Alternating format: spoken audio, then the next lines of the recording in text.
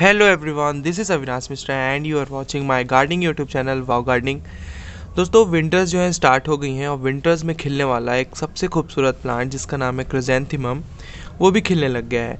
पर कई जगह पे आप देखोगे कि जब ये खिलने लग जाता है आपके गार्डन पे, कुछ प्लांट्स पे ब्लैक बग का अटैक हो जाता है, कुछ ख़राब होने लग जाते हैं और आप कई बार देखोगे कि फर्टिलाइज़ तो आप काफ़ी अच्छी तरीके से करते हो, पर उसमें फ्लोरिंग जो है, उस साइज़ की नहीं आ पाती या जो उसके बर्ड हैं, वो गिर जाते हैं। बर्ड ड्रॉप की बहुत प्रॉब्लम आती है या उसका जो बर्ड है, वो खिल भी नहीं पाता कई कई बार।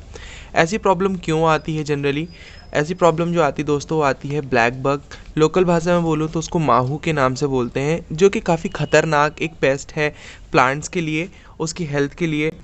क्योंकि जो ब्लैक बग होता है, वो प्लांट्स के जितने भी न्यूट्रिशन रहते हैं, वो सबको खींच लेता है सक कर लेता है। उस कारण से जो आपका ये प्लांट रहता है, वो किसी न किसी कारण से वो ख़राब होने लग जाता है। वो इसलिए क्योंकि कई बार क्या होता है, वो आप देखोगे कि यहाँ जहाँ से फ्लोरिंग वाला उसका रहता है फ्लोरिंग वाले एरिया पे दोस्तों वो पूरी तरीके से कवर कर लेता है। और उस जगह पे एक साथ कई सारे लग जाने के कारण जो है वो काफ़ी जल्दी से आपके प्लांट को ख़राब कर देता है।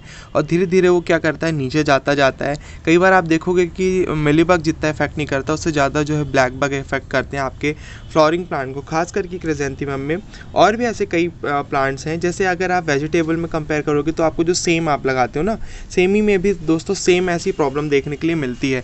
तो कुछ ऐसे एक प्लांट्स होते हैं जिसमें कुछ आ, एक अलग तरह के ही पेस्ट अटैक करते हैं और उसी प्लांट्स में ज़्यादा अटैक करते हैं। जैसे आपने कभी देखा होगा कि आ, जो मेलीबाग होता है वो ज़्यादातर हाइबिस्कस में अटैक करता है। आपने कभी भी गौर किया होगा तो आपने देखा होगा कि ज़्यादातर उसी में लगता है। तो कुछ एक ऐसे प्लांट होते हैं जो कि अट्रैक्ट करते हैं इनको। तो यार इनसे बचने के लिए क्या कर सकते हैं? अभी हमने तो तैयारी पूरी कर ली। और फर्टिलाइजेशन भी अच्छे से किया और कर भी रहे हैं। पर धीरे धीरे करके जो हमारे फ्लॉरिंग बर्ड्स हैं, वो गिरने लग गए हैं। फ्लॉरिंग क्यों नहीं आ रही है? तो उसको बचाने के लिए क्या कर सकते हैं? जनरली जो है, आप देखेंगे कि मैं जैसा आपको बताता हूँ कि आप ऑर्गेनिक जो पेस्टिसाइड अपने घर पर बनाते हैं, आप उसका यूज़ कीजिए। तो उससे क्या होगा कि प्लांट्स की हेल्थ भी अच्छी रहेगी और वो ग्रो भी अच्छा करता है। तो कई बार क्या होता है कि जो ऑर्गेनिक रहता है, आप ऑर्गेनिक वे में डालते जैसे नीम ऑयल मैं आपको बताता हूँ या आप जो नीम वाटर का भी स्प्रे करते हैं। कई बार क्या उससे भी इनका जो है आ, काम तमाम नहीं होता ये उससे भी नहीं मरते हैं। तो उसके लिए क्या ऑप्शन है? उसके लिए दोस्तों एक ही लास्ट ऑप्शन बचता है वो है दोस्तों केमिकल सेक्शन में जाने का।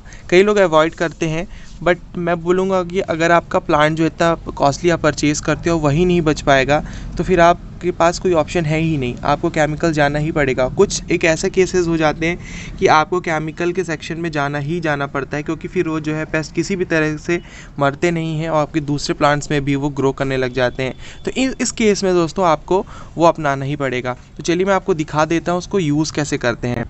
तो ये देखिए, मेरी जो एक लीटर की वाटर बॉटल है, इसमें मैंने जो है पानी इसको भर लिया है पूरा एक लीटर इसके बाद जो है मैं यहाँ पे यूज़ करने वाला हूँ दोस्तों, ये मिस्टर का।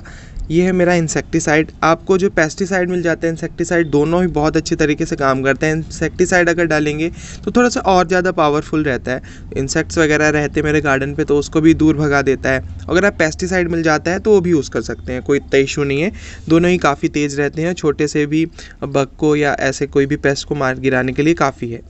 तो आपको मार्केट में जो मिल जाता है, वो ले सकते हैं। तो देखिए मैं इसकी चार से पाँच ड्रॉप जो है इसमें यूज़ कर रहा हूँ। और ये सफिशियंट है इसके लिए।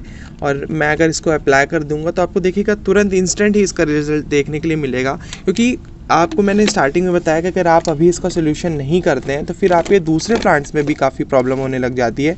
तो वो उस सिचुएशन से आपको बचने के लिए अभी ये करना ही पड़ेगा। इसका एप्लीकेशन करेंगे तो आपको अच्छा रिज़ल्ट मिलेगा। देखिए, मैं आपको दिखा देता हूँ कि ब्लैक बग दिखते कैसे हैं, लगते कहाँ कहाँ पे और उसका एप्लीकेशन कहाँ पे करना होता है। तो देखिए, आपके सामने एक ये प्लांट है क्रेजेंथिमम का, जिसको गुलदाउदी भी बोलते हैं। तो देखिए, इसमें आपको सामने पूरे में ब्लैक बग दिख रहे होंगे। देखिए, ऊपर से नीचे तक कितना ज़्यादा इसने इफ़ेक्ट किया हुआ है। अगर आप इसको ऐसे निकाल के मसल देते हैं ना तो इनके ब्लड टाइप का भी निकलता है। तो थोड़ा सा आप ग्लव्स पहन के काम करेंगे तो और अच्छा होगा। और पेस्टिसाइड वगैरह स्प्रे करने के पहले आप मास्क ज़रूर लगा लीजिएगा दोस्तों। मैं वीडियो बता रहा हूँ आपको, मैं खुद ज़रूर भूल गया हूँ, पर आपको मैं यही बोलूँगा कि आप ज़रूर यूज़ कीजिएगा। क्योंकि काफ़ी इसकी तेज़ स्मेल रहती है, वो अच्छी नहीं होती। तो यहाँ पे हम इसको डायरेक्टली इसी के ऊपर एप्लीकेशन करेंगे ताकि ये जो है यहाँ से इफ़ेक्टिव है, ये पूरी तरीके से साफ़ हो जाए। प्लस इसके साथ हमें पूरे प्लांट में भी देना है। प्लांट्स के साथ साथ क्या होगा कि जब हम उसमें लीव्स में देंगे तो लीव्स के साथ साथ वो उसके रूट्स तक जाएगा रूट पूरे सॉइल मिक्सचर में जाएगा। अगर वहाँ पर भी कहीं ये ग्रो कर रहे होंगे तो वो पूरी फ़ौरन ही ख़त्म हो जाएँगे। तो देखिए मैं इसके ऊपर एप्लीकेशन कर देता हूँ। इसमें थोड़ा सा प्रेशर बना के और ये हमको डायरेक्टली इसमें ऐसे स्प्रे करना है। बस उसके पूरे में प्लांट्स में भी अगर आप चाहो तो दे सकते हो।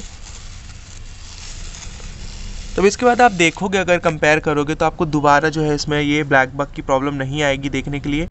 और मैं तो आपसे यही कहूँगा कि आपके जितने भी प्लांट्स हैं, जितने भी फ्लोरिंग प्लांट्स हैं, आप उसमें सब में अप्लाई करेंगे तो बहुत ही अच्छा रिज़ल्ट मिलेगा, क्योंकि आप पहले से अगर अप्लाई कर देंगे अपने सारे प्लांट्स में तो ऐसी अगर कोई भी प्रॉब्लम आने वाली हो या दूसरे कोई पेस्ट लग रहे होंगे तो वहीं का वहीं रुक जाएँगे या ख़त्म हो जाएँगे। तो आप ये ज़रूर कर लीजिएगा, अपने विंटर फ्लोरिंग प्लांट्स में भी कर सकते हैं। आपके जो नॉर्मल प्लांट्स होते हैं रेगुलर बेसिस पे आपको जो फ्लोरिंग देते हैं, उनमें भी आप कर दिया करिए। तो आपको मैंने जैसे बोलता ही हूँ हर वीडियोज़ में कि पंद्रह दिन में एक बार आपको एप्लीकेशन करना ही करना होता है इन सब चीज़ों का, तब वो कर सकते हैं। अगर आप केमिकल में एक ही एक आध दो बार यूज़ करना चाहते हैं तो ठीक है, आप फिर नॉर्मल जो है ऑर्गेनिक पेस्टिसाइड का यूज़ कीजिएगा तो उससे भी आपके प्लांट जो है हेल्दी बने रहेंगे।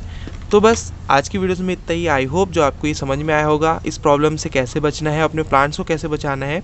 अगर वीडियो अच्छी लगी है तो प्लीज़ वीडियो को एक लाइक ज़रूर कीजिएगा। वीडियो को शेयर ज़रूर कीजिएगा। मेरे चैनल को सब्सक्राइब भी ज़रूर कर लीजिएगा। मैं मिलता हूँ दोस्तों आपको नेक्स्ट वीडियो पर किसी एक नए टॉपिक के साथ, नए प्लांट केयर के साथ। तब तक लिए दोस्तों take care of your self and good bye happy gardening